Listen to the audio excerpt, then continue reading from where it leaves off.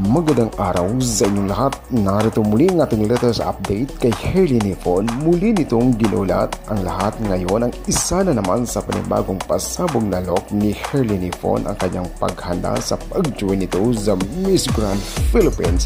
Narito sa ngayon ang isa na naman sa panibagong pasabog ni Hailey Nifon ang kanyang paghanda sa kanyang laban sa Miss Grand Philippines Narito ngayon ang full video, panoorin po natin ako si Codander TV.